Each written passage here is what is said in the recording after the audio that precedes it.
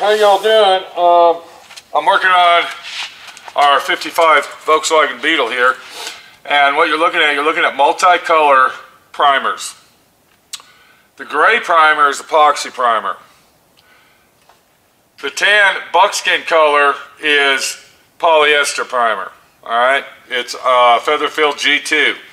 And then, of course, we got a little bit of Bondo showing here and miscellaneous. So, I thought this would be a good opportunity since I was block sanding this to go over a situation that the theory of epoxy primer being a primer is is is false.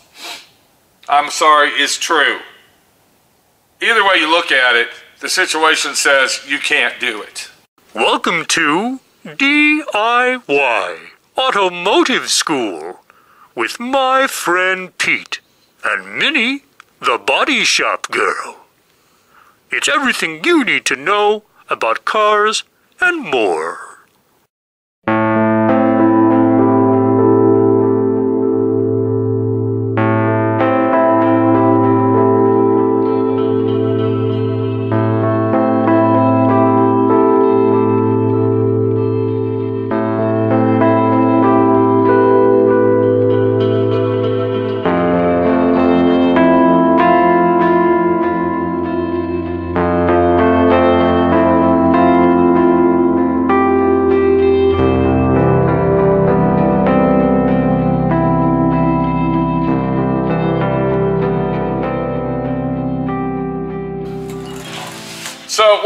Talking about here, my friend Pete? You got me confused. Let me tell you what I'm talking about.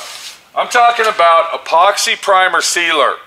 Authentic 100% sealer that is specifically designed that says epoxy primer on it. It doesn't say 2K primer and add 10% reducer to convert it into epoxy primer. It doesn't say that.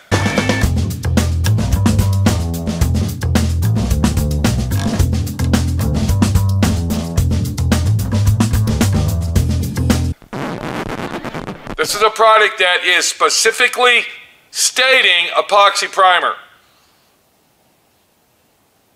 Now, a lot of people that look at the situation, they say primer, primer. I can go ahead and prime my car with that and then paint it. No, you can't. There's different primers. Epoxy primer is not a sandable primer. That's what we're trying to get here, people. And I'm going to prove that to you, and I'm going to show that to you here in a second. What I do want to go over is a sandable primer. This, this polyester primer, this Evercoat brand uh, polyester G2 feather fill primer, this is a sandable primer. That means when you sand it, and I'm going to, I don't want to sand a lot because it's already done, but when I go over that, I want you to watch real close as I sand it. You can see that it dusts up. Do you see that right there? It didn't gum up, it dusts. There's a difference. Dust up, gum up. It dusted up on the paper, all right? Looky here. And now there's no gummy substance on the paper itself. That is a sandable primer. When I take this piece of sandpaper right here and I do the same thing and we'll go ahead and use this area. Okay this is epoxy. This is 100% true epoxy primer and I'm going to show you that in a minute. When I sand that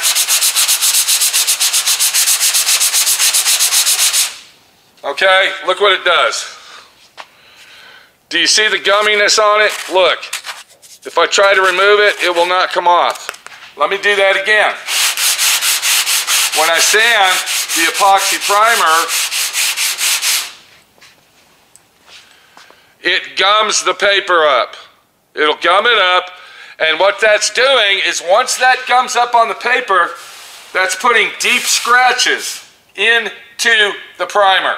And the scratches are not going to be visible through the camera lens. If you were standing here with me and you were looking at it, you'd be able to see all these deep scratches that are in the primer. Whereas if you look at this, this is nice and smooth. The reason that we have deep scratches there is because of that right there. See where it's gummed up? This is a sealer.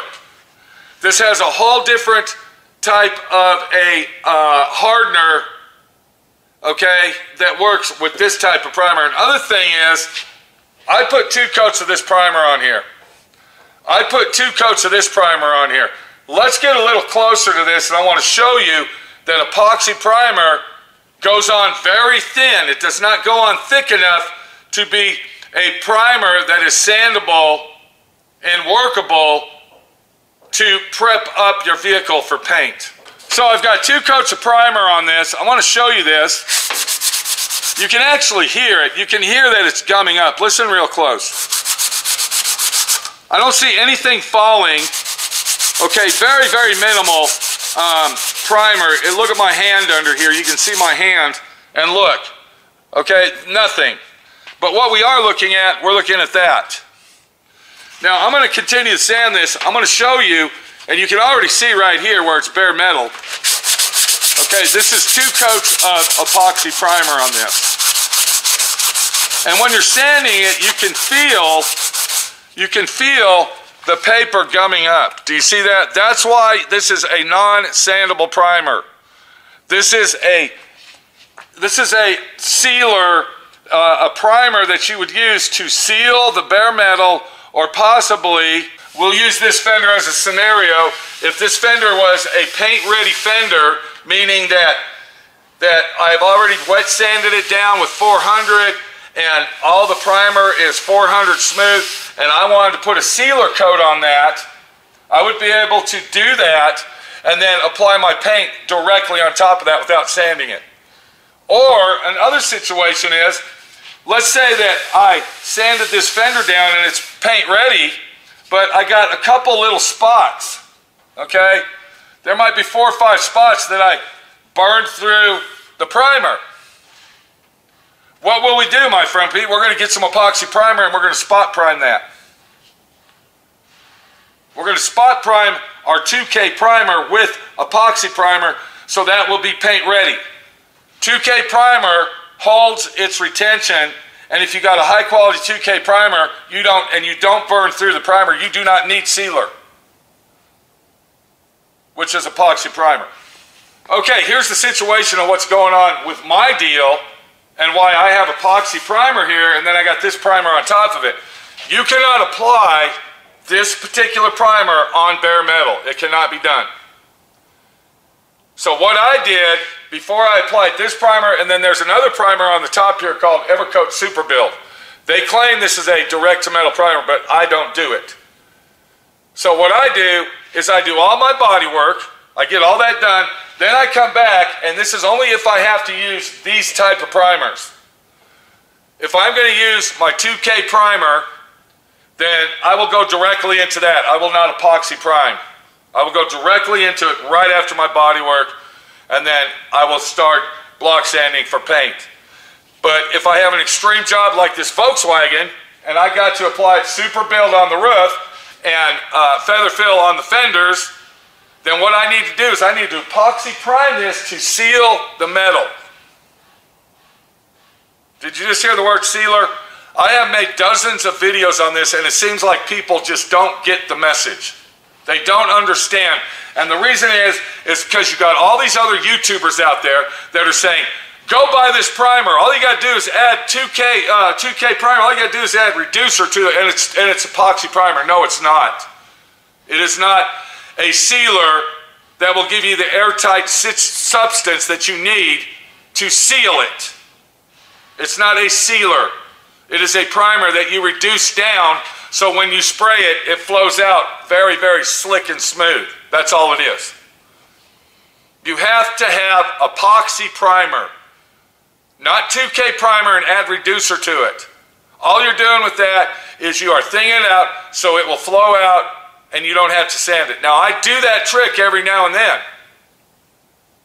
But when I'm doing an overall paint job like this, if I'm doing a collision job, I might take my 2K primer, put a little reducer in it, up to 10% only, and when it's paint ready, remember I was explaining that, I'll go ahead and spot prime that if I don't have any epoxy primer. If I'm short on it, I don't have it, yes, I will rely on that. And then I won't sand it and then paint over. You can do that. But that is not an epoxy primer. One more thing about epoxy primer. A lot of people will uh, epoxy prime their bare metal car and then they will do body work on top of it. I do not suggest that. I suggest that if you're going to do body work after you have epoxy primed it, you get your 36 grit grinder out. You go ahead and grind that spot where that dent is, get it down to bare metal, and do your body work. By the time you go over all the car and you do that, you repeat the process on all, 90% of this epoxy primer will be gone. There's other people out there, they'll say, I put my, I do body work on top of my epoxy primer and I've never had problems with that. Okay, well, that's the way I do it versus you. Everybody's different. I don't put any Bondo or body filler of any type whatsoever on top of any paint, primers, clear coats, or anything. I always go down to the bare metal if need be, okay? Now, if I find, like, let's say a little minor imperfection, okay, I'm not talking a dent, but a minor, imperfection, and um, let's just say this was it right here, okay? Or let's say that there's an imperfection right here. Here we go, right here. And I might need to add a little bit of polyester finishing putty to this area because there's just a light, a slight imperfection. Then I will take either my 80 grit or a 36 grit piece. I will scuff it down like that, and then I will do that on top of the primers. But as far as like big dents go, or major body work, no, I will not do that on top of any type of primer, paint, or clear coats. So basically, the only type of sanding that you can do to epoxy primer is to scuff it down for either a 2K primer to re-block sand for paint. That's it. If you have applied epoxy primer and you're ready to apply your paint, do not sand it. All your body work, all your prep, everything should be done at that time. If you're doing something like I'm doing, and you had to apply epoxy primer to your bare metal because you're you didn't want it to rust out, you didn't want it to run out, and you had body work here but not up here, so you got you need to take a piece of 80 grit like this, and this is all you do. That's it. Okay? Or you can use 180. But what you're looking at, this is basically the, the extreme of applying, of sanding epoxy primer. What you're looking at me doing right now is the extreme of prepping your epoxy primer. And all I'm doing is I'm just roughing it up. That's it. Okay, I'm just roughing the surface so the 2K primer will stick to it. That's it. Now, I don't know if this got through to everybody out there and you actually got the message, but as far as using a epoxy primer as a primer itself and block sanding it out and thinking that it's going to do the job, no, that's not what it's for. It's a sealer. That's all it is. You saw what it does. Look, just from sanding that, look at my, okay, and I wasn't even putting pressure on it. So that's just from stuffing it up here and, and getting it like this and doing what I got to do to apply my exactly 2K primer. So, a true epoxy primer is a epoxy sealer. It is not a primer that you would put over your body work to feather out and sand for paint.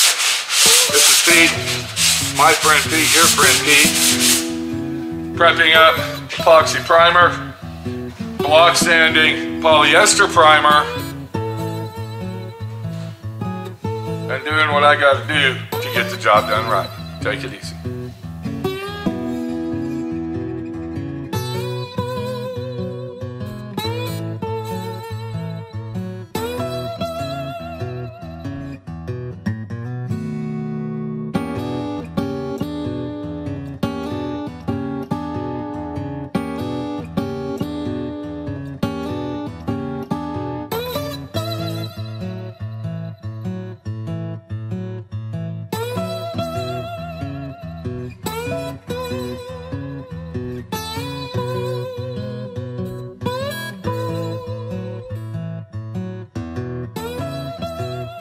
Thanks for watching DIY Automotive School.